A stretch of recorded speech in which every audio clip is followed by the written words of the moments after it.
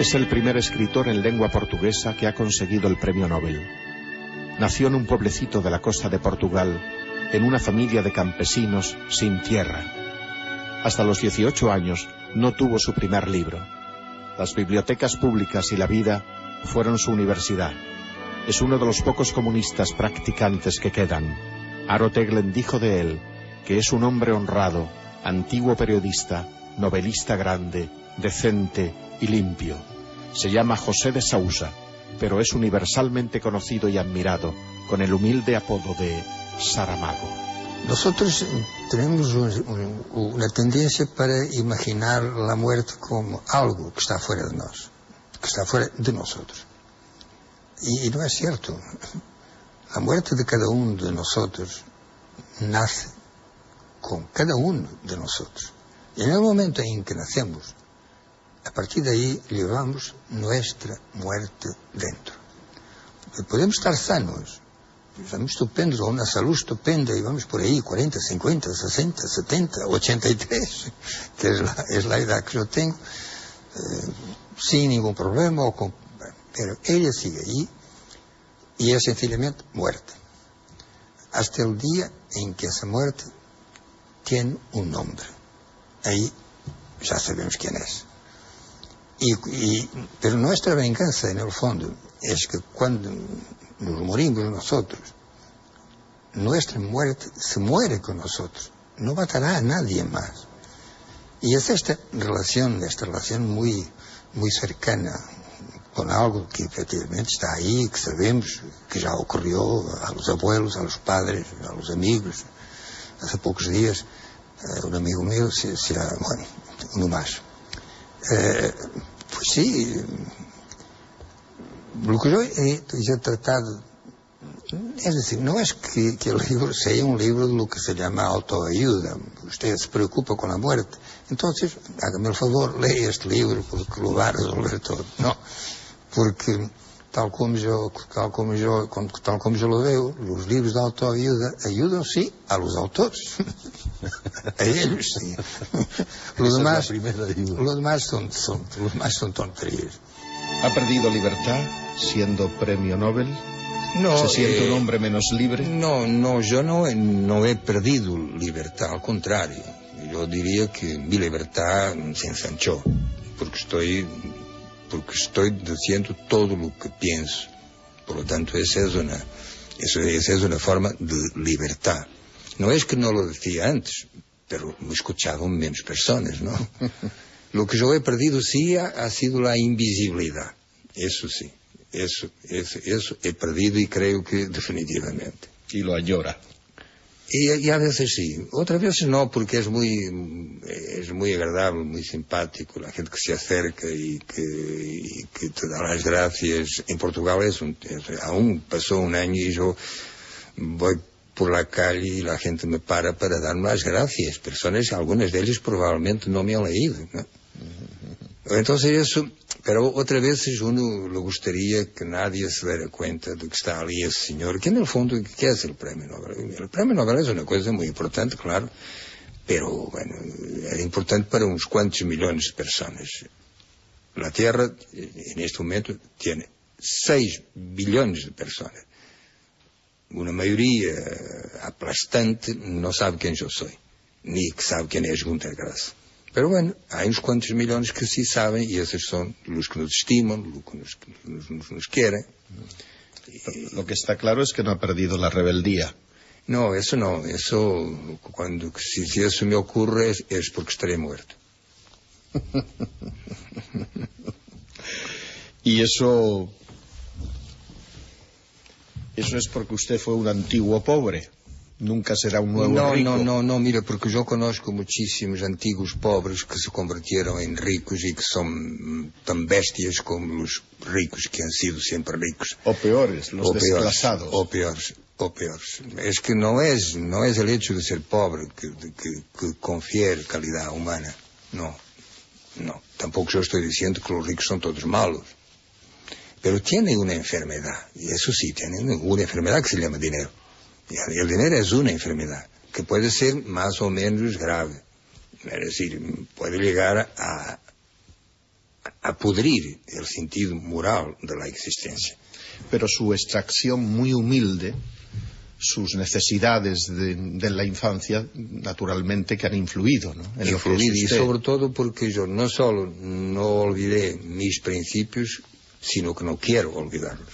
Exacto. Porque a veces ocurre que uno se, se avergüenza de haber nacido pobre, descalzo, en una casa como la, una, una casa para llamarla así, bueno, por ejemplo, de mis abuelos, con el suelo de tierra, de, de barro, donde llovía y con los cerdos al lado.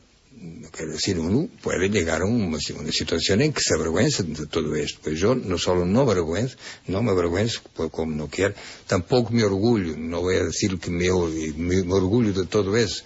No, son datos de mi vida y que yo no, no solo no olvido, como no puedo olvidar y no quiero olvidar.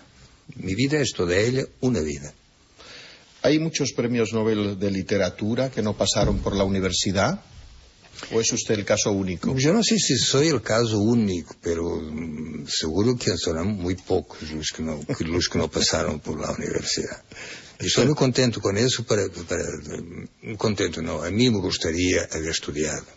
Eh, tengo que decirlo aquí, no, tampoco saco orgullo de decir yo soy un self-made man de todo eso, yo he, he nacido de la nada y miren, miren ustedes como yo estoy, como soy, persona extraordinaria, maravillosa. No, no. Lo siento muchísimo que las condiciones de, de vida y las condiciones económicas en que vivíamos mis padres eh, y yo, claro, que no, me lo, que no me lo permitieron, pero bueno, y no pasa nada. De todos modos, escribí, trabajé, sigo trabajando.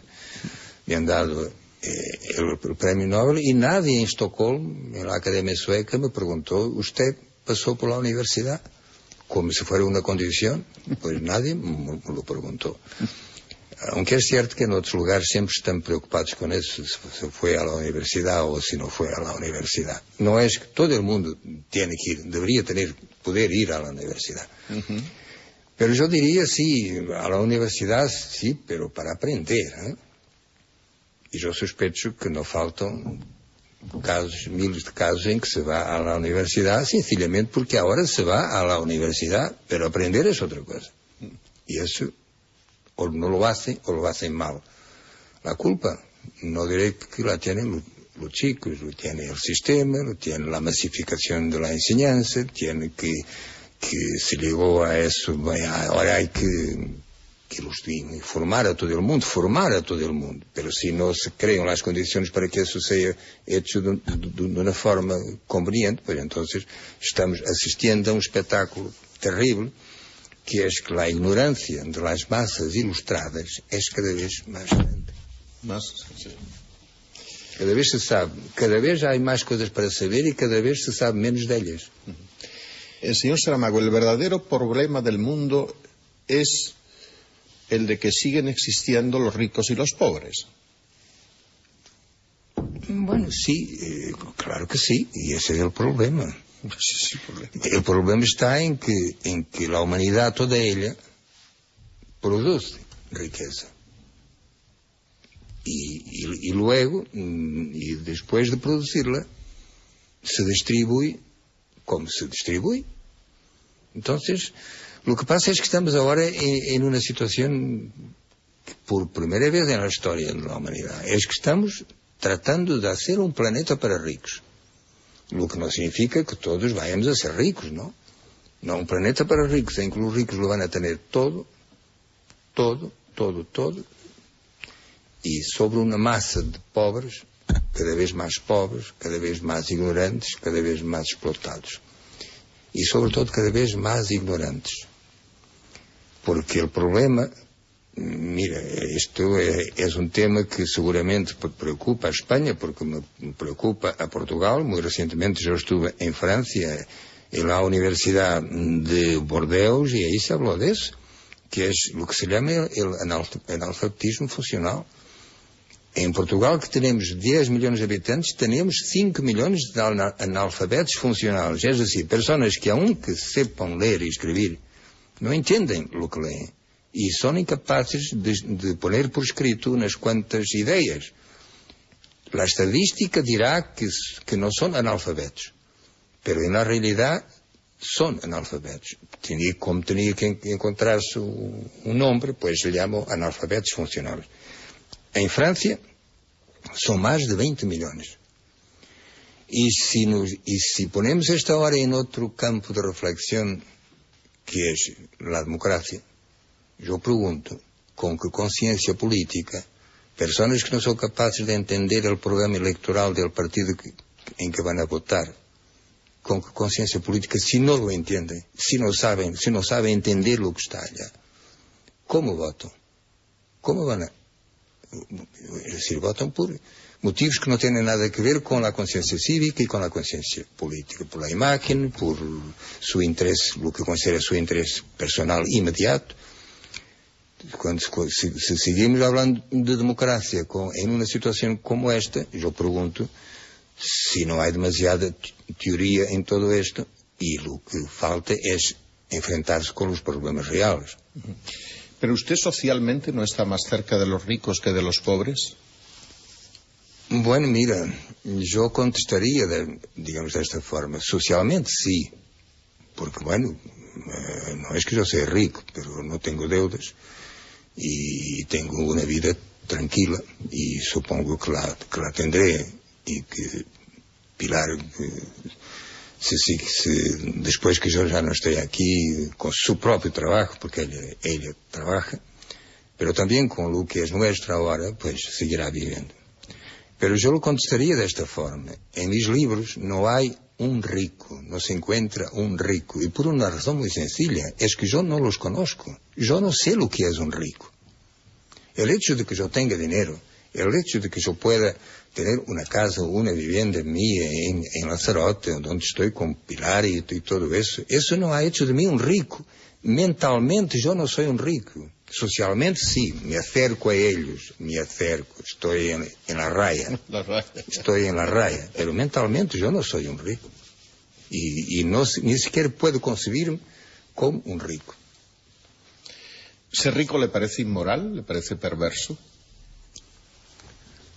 Bueno, yo, yo no sé si, si tiene algo que ver ahí los, los valores.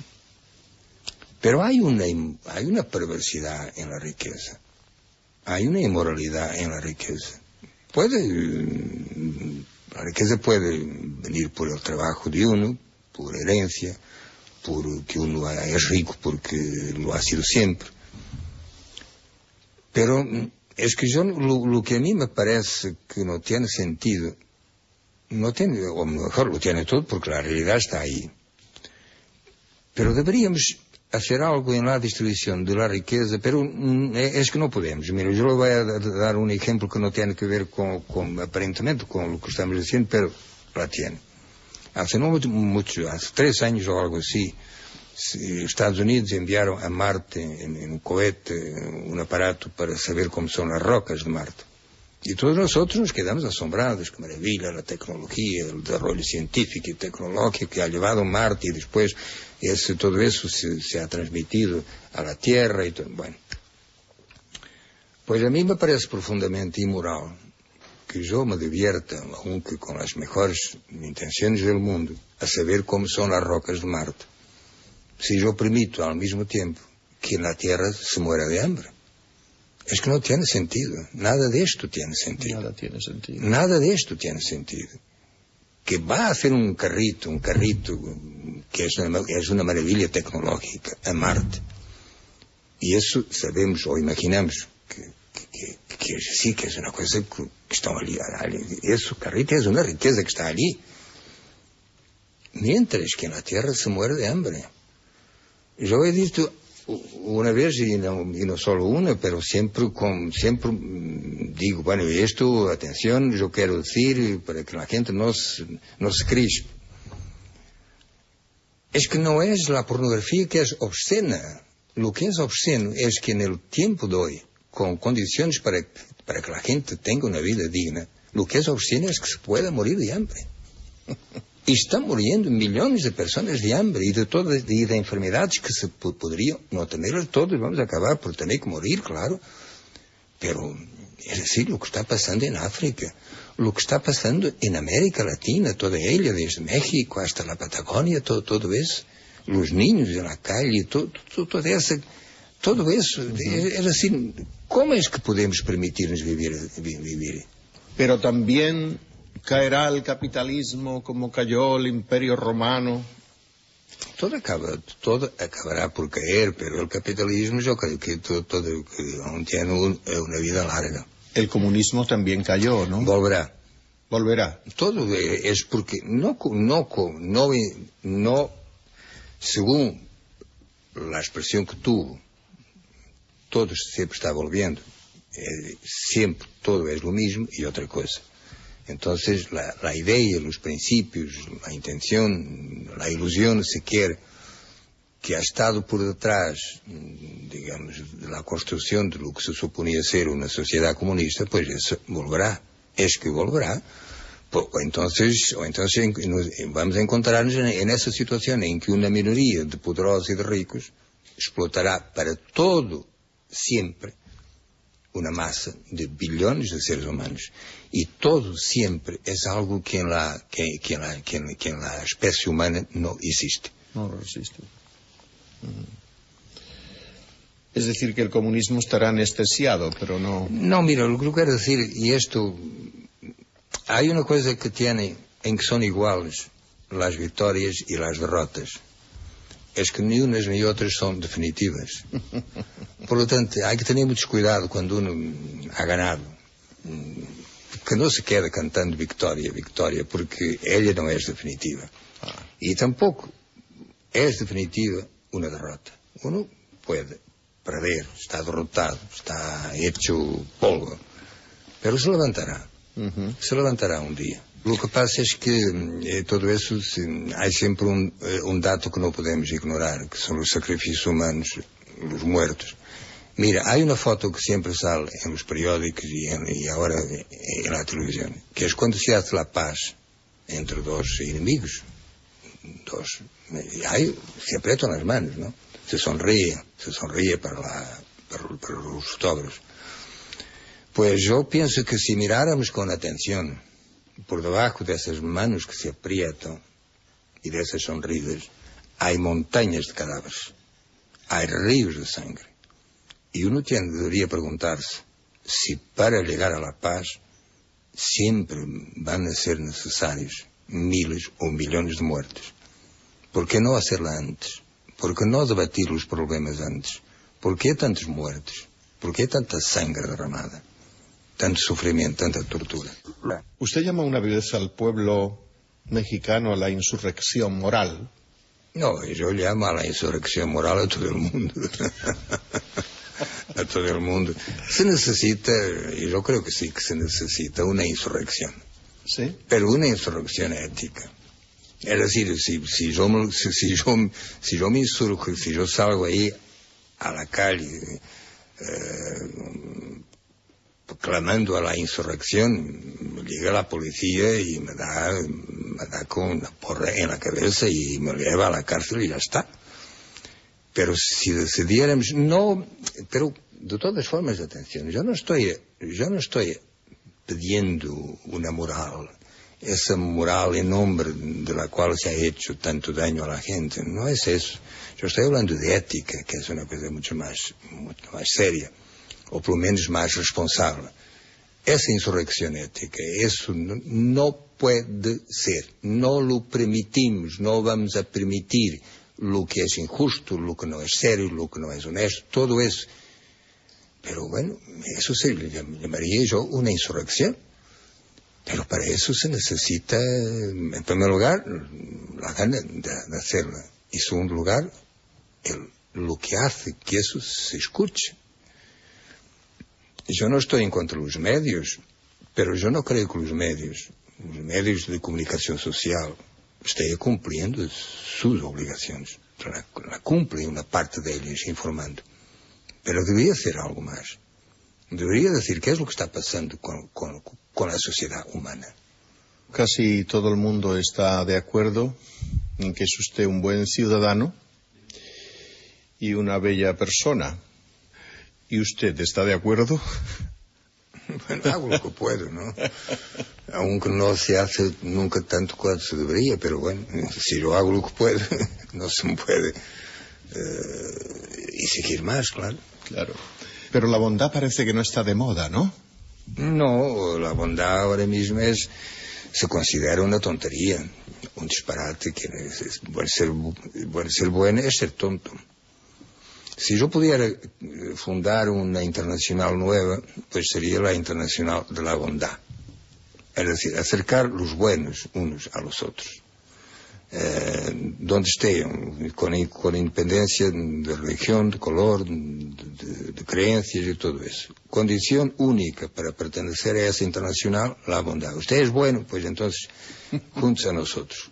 Y a ver qué es lo que los buenos, que no son tontos, aunque a veces los se comportan para disfrazar eh, como si lo fueran, pues quizá, pero bueno, eh, en el fondo siempre estamos hablando de esperanzas y de utopías y a lo mejor esto es una igual a otras. ¿no?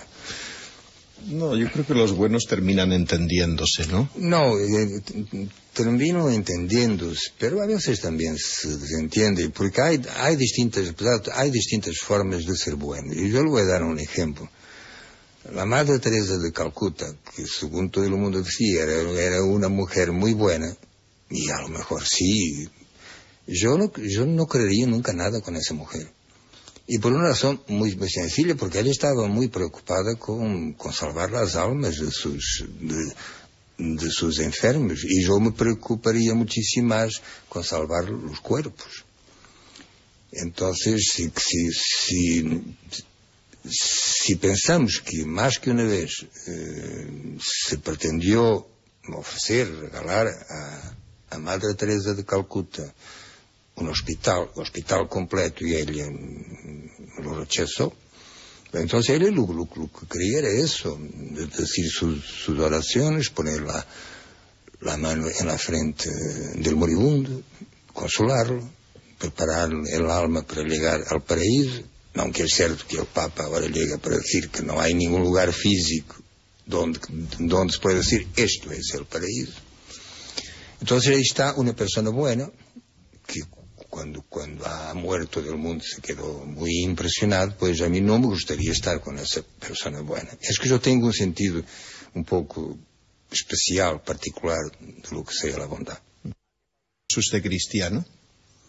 Mire, yo tengo una mentalidad cristiana, yo no puedo, no puedo tener una mentalidad ni, ni, ni budista, ni animista, ni, ni, ni islámica, ¿no? Mi mentalidad es, es una mentalidad cristiana, lo que pasa es que yo no creo en Dios. Para mí, no, no es que no crea en Dios, para mí sencillamente Dios no existe. Eso, pero mm, sin querer ofender a nadie, cada uno tiene derecho a tener un, un Dios propio si lo quiere. Y como hay por ahí unos cuantos dioses que son de muchos, pues entonces que... Muy, muy bien, me parece bien. A mejor incluso a mí me gustaría pensar que un día estaré contemplando a la faz del Señor, que parece que es eso lo que por lo menos el cristianismo promete a los, a los creyentes, la contemplación eterna la faz del Señor, lo que hay que reconocer que sería quizá un poquito aburrido. No olvido que estoy en Sevilla, y Sevilla que, que, que es una ciudad más que cristiana, católica, y a lo mejor esto no gustará, pero yo no tengo la culpa, no creo. Y además no tengo que pedir perdón por eso. Uh -huh. Borges decía que Dios era el que había dado más pruebas de que no existe. Yo creo que sí, no ha hecho otra cosa entonces. Dios que el mundo es mundo. ¿no? Uh -huh. Dios quien lo inventa. No, lo hemos inventado nosotros. El único lugar donde Dios existe no es en el espacio, no universo, en la cabeza del hombre, del ser humano. Y ahí no solo existe, como coexiste con, con, el diablo. Lo hemos inventado, el diablo. Hemos inventado todo. Hemos inventado el amor, el odio, la justicia, el derecho, todo eso. La bondad, incluso la bondad. Fuera, fuera del cerebro humano, no sé lo, lo que hay, porque es el cerebro humano que me permite tener una idea de una realidad. Y o que não tem que ver com, com a realidade e que sejam criações, o que nós chamamos espírito, pois isso nasceu no cérebro e sigue aí, não saiu. Ou se saiu, porque quando eu invento Deus dentro de minha cabeça e o pongo, e o pongo fora dela, pois então eh, há o que se chamaria um câmbio qualitativo. Hmm. ¿Usted ha topado con la iglesia? No, ha sido la iglesia que ha topado conmigo. Hay una diferencia. Cuando a usted le dieron el premio Nobel, la iglesia dijo que usted era un comunista recalcitrante. ¿Fue así? Más o menos. Eh, la palabra ha sido eh, traducida de distintas formas, pero bueno, van por ahí. Yo solo me pregunto qué es lo que tiene que ver con la... ¿Qué es lo que tiene que ver la iglesia con el hecho de que yo sé esto o que sé aquello? porque se preocupa la iglesia. Es decir, yo no he hecho mal a nadie. Y la iglesia ha hecho muy, mucho daño en el pasado y a lo mejor lo seguirá haciendo. Mire usted, jamás una religión sirvió para acercar los seres humanos unos a los otros. Jamás. En ningún momento de la historia del hombre, de esta historia de desastres y de algunas cosas muy hermosas, pero los desastres abundan, pues jamás una religión sirvió para acercar los hombres unos a los otros, los seres humanos. Al contrario, siempre tuvimos esta idea falsa, mentirosa, de que lo que nosotros somos, lo que nosotros tenemos, lo que nosotros creemos, y ahora creencia, religión, es lo único que los otros tienen que creer. Y llegamos y decimos, vuestra religión, llegamos a América o a donde sea, vuestra religión es falsa. Yo traigo conmigo la verdadera religión. El verdadero Dios lo traigo yo. Este es un pecado de orgullo que no tiene perdón. ¿Cómo es que un ser humano, un tonto ser humano, como en el fondo todos lo somos, puede osar decir que lleva consigo el verdadero Dios? Y en nombre de esto, y en, este, en, nombre, en primer lugar de esta convicción que tiene, o fe, o creencia, o lo que llaman, y en segundo lugar con esa idea de dominio del otro, para imponer esa religión o lo que sea, pues ahí tenemos toda la historia de las miserias humanas, todos los genocidios, todas las intolerancias, todo eso que demasiado sabemos. Para mí es inconcebible la existencia de un Dios sea Él un Dios creador de la vida o sea un Dios que mañana será juez de mis acciones en la tierra, las buenas y las malas. Me parece que es un cuento de niños y para niños y no lo creo. Y no es el hecho de que yo tenga ahora, ahora 77 años, ¿no? Soy un señor eh, muy mayor y que no tiene mucho tiempo ya para vivir, pues no me asusta nada la idea de un infierno, que tampoco ahora ya estoy mucho más tranquilo porque el Papa ha dicho que no hay ningún lugar físico donde se pueda decir esto es el infierno. Él ha dicho, el infierno es no estar con Dios. Por lo tanto, si esto es cierto, entonces yo estoy en el infierno. Pero, pero la verdad es que estoy muy bien y por una razón muy sencilla, porque soy una buena persona. Y además tengo el premio Nobel.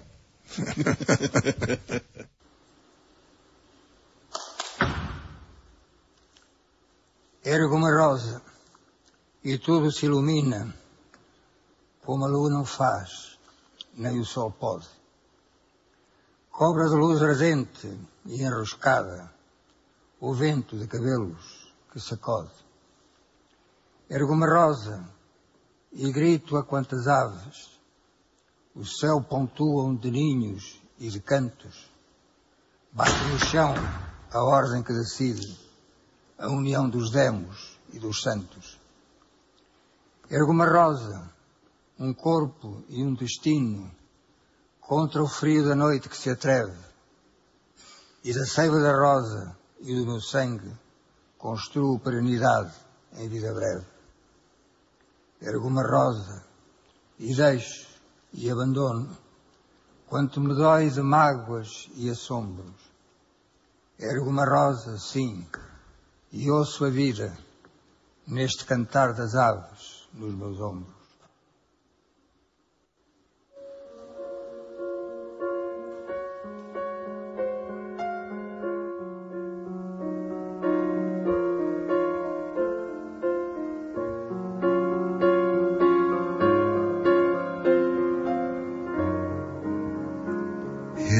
Rosa y todo se ilumina. Como la luna no hace ni el sol puede, cobra de luz ardiente y enroscada, o viento de cabellos que se mueve.